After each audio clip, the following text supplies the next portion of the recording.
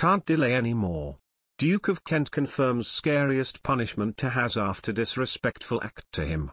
Queen Elizabeth II's cousin, the Duke of Kent, says in a new memoir that he never felt locked into a system that was operating against me as a member of the royal family, contradicting Prince Harry's famous comment that he felt trapped within the system, like the rest of my family.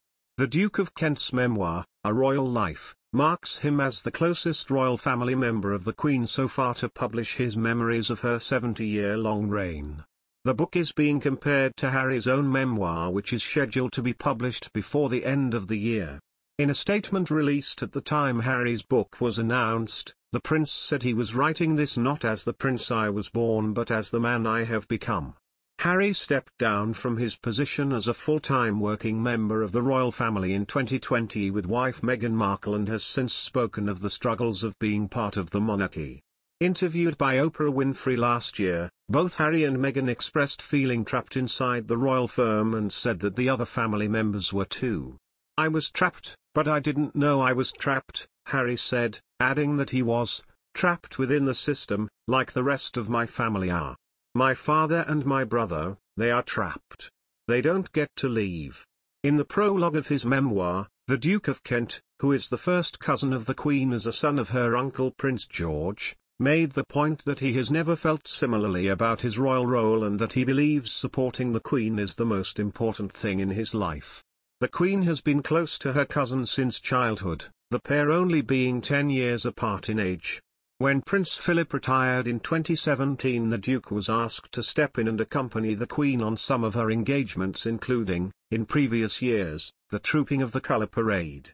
Aged 86, the Duke lives with his wife, Catherine, at Kensington Palace and was formerly next-door neighbours with Harry and Meghan who lived at Nottingham Cottage.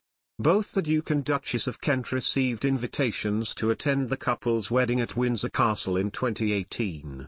In other news, Prince Harry and Meghan Markle are being accused of shrugging off important lesson from the Queen to go and talk about their royal life with Oprah Winfrey. Royal expert Daniela Elser told thenews.com.au how the 95-year-old finds strength in silence a virtue unknown to the Duke and Duchess of Sussex. Ms. Elser wrote, and if ever there has been a time in royal history when the 95-year-old has put that philosophy into blistering effect it has been over the last 365 days and change. Ms. Elser added Meghan and Harry's self-righteous repeated airing of family dirty laundry has in fact only really dealt them a PR blow. Both Harry and Meghan told Oprah how much they respected Her Majesty but they both seem to have missed the crucial lesson she could have taught them about not only the power but the dignity of silence. During her interview with Oprah Winfrey in 2021, Meghan confessed the institution of mistreating her over racism. Meghan revealed that she experienced severe remarks of unborn son Archie's skin while she was still in the UK. They didn't want him to be a prince, which would be different from protocol, and that he wasn't going to receive security, she told Oprah.